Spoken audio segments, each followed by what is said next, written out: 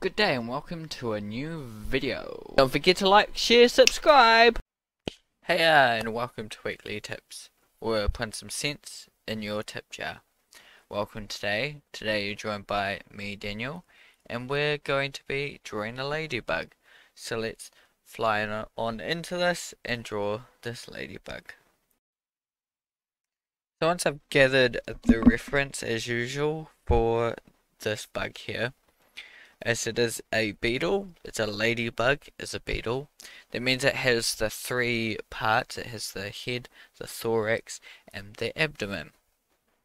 If you can see here, the actual head is a little kind of roundish head there, and then you've got the thorax there, and also the abdomen. Now knowing this helps you to draw um, and understand as well the creature you are drawing um, the bug, knowing the, the different parts that this um, creature has. It helps quite a bit um, when drawing it in different angles um, and also just drawing it in general. And to understand the shapes you are looking for um, when drawing something like this, you know, a beetle, a ladybug. Um, you know, from there, I'm just kind of breaking up the shapes um, at first, you know, I thought, you know, the head part was all kind of one, I'll draw all as one, but actually it's easier to, to uh, go back and, and break it up, um, because it's definitely, you know, that little head, and then you've got um, the thorax just, you know, above the head, and then you've got the abdomen, which are is actually kind of under the wings, um, per se, but you still have kind of that wing covering. Um, here I draw a top angle view and with the wings spread out so I can kind of see um, under their wings a little bit just to understand a little bit of the shapes that go um, under the form under the basic form shape that you see um, now you know you kind of see some of these um, bugs around, ladybugs, and you, when you do see them, they look like little circles running around the different shapes and different colors. Um, but the the circle part is actually the the wings that you see um, put together, and that's what you kind of see roaming around. But they actually, if you look closer, this is what they're actually made out of. Um, now you know the whole shape could be um, pretty circular, but it's a little bit off the circle. Um, to be 100% accurate, basically. Um, but yeah, you could, um, you know, draw a whole circle to, to start off your bug, to start off this beetle and start to um, break it up to the different parts as well. Um, I mean, the the wings look like half circles, basically. Um, yeah, and their abdomen has that kind of rounder shape there and here I'm just fixing up uh, slight little details and things like that um, and adding in some dots and, and, and little things that don't exactly matter too much um, it's just a little bit extra um, that I like to do sometimes you know adding those little touches um, yeah to the drawing. Then I do another top angle view um, with its wings you know attached, fully closed. Um, and also I do that to also see the legs all spread out. You know, what kind of um, legs do these beetles have? Yeah, and just to see their whole shape and everything like that. So doing it in this view can be very helpful to understand the ladybug um, and again, you know, you see me add the little extras, the dots, and um, those little ridges as well. I, I slightly add those ridges um, where, because the the actual um, wings actually curve over the kind of body, gives it a whole kind of cocoon to put its legs in as well. Um, if you've ever kind of picked a ladybug up and investigated it, you can kind of see um, a little bit more of its body.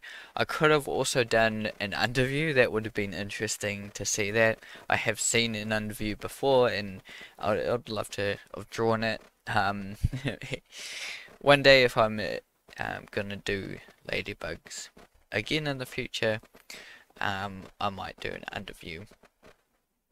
If, you know, if I wanted to understand a little bit more about ladybugs. Um, and these things always help understanding other animals, insects, and all sorts.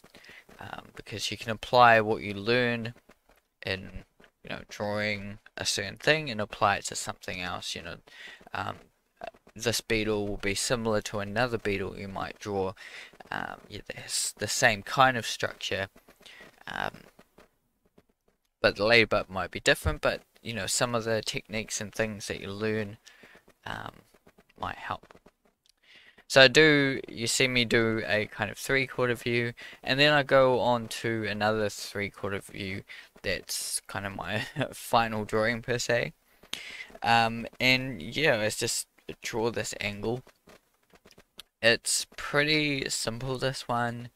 Um, a bit of fix-ups and, and play around trying to get things right and trying to get that kind of spherical um, the the whole shape of his body there um, as accurate as I can creating that shape.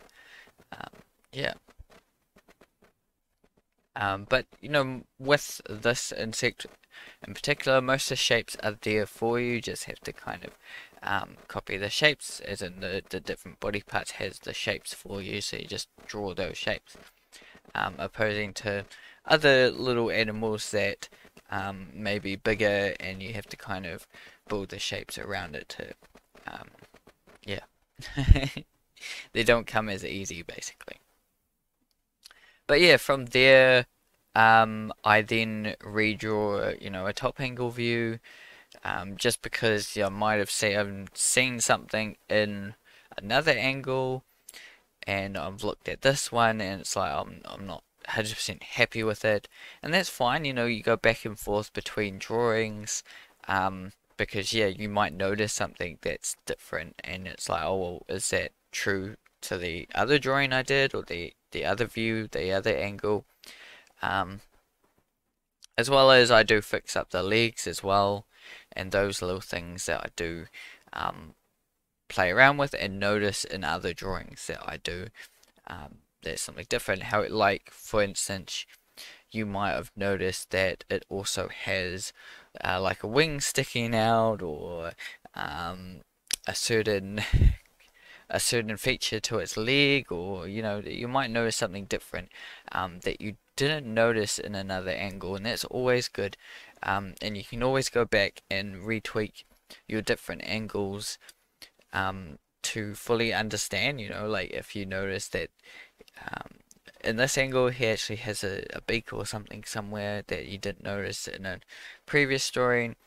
Um, sometimes it makes it a little bit more understanding of the image you were trying to draw before of a side view or something that you didn't know what that was and you're like oh that's what it was you know? Um so understanding your animal and doing different views all those things can really help in drawing in a um you know different animals different creatures even this ladybug here and different beetles you know?